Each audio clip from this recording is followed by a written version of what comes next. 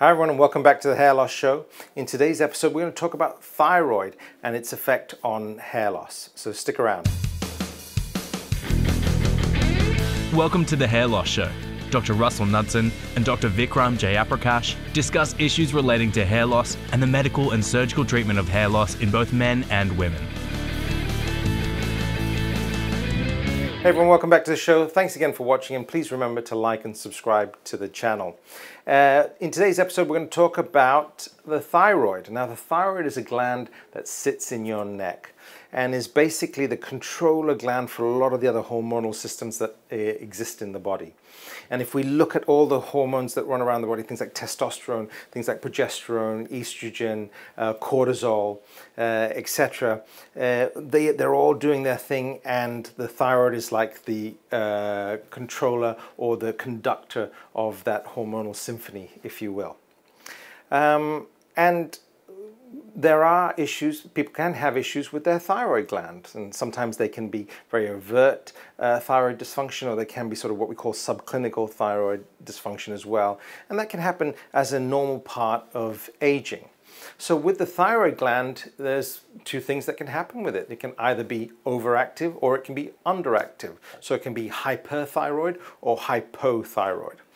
Now, interestingly enough, both those conditions, hyper and hypothyroid, can result in hair loss.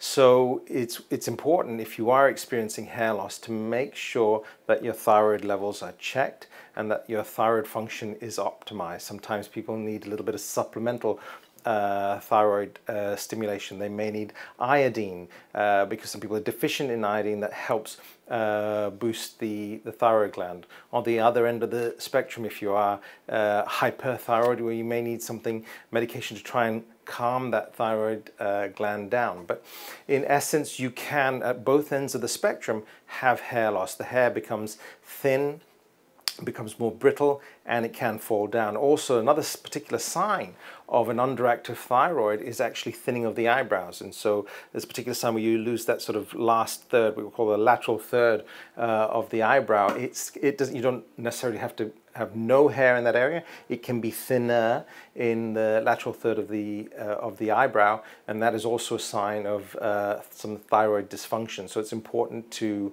uh, get that checked.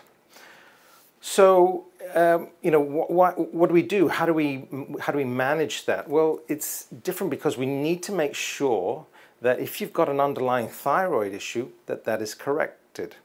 Now, uh, hair loss in thyroid dysfunction presents differently to the common garden variety uh, androgenic alopecia, be it male pattern hair loss or female pattern hair loss. Male pattern hair loss, uh, as its name would suggest, is hair loss in a particular pattern, and the same with female pattern hair loss, whereas thyroid dysfunction will cause generalized thinning uh, of the hair, both at the top of the scalp and also at the back. So it's important that you, if you are experiencing hair loss or hair thinning, make sure that you uh, get that checked uh, by someone who knows how to diagnose this.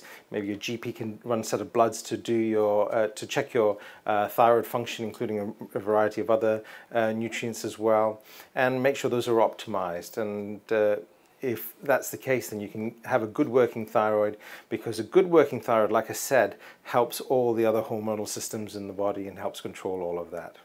So I hope you found that useful. Thanks again for watching and we'll see you on the next episode.